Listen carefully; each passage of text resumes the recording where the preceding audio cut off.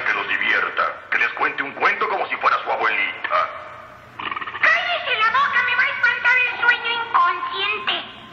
¡Válgame Dios! Bueno,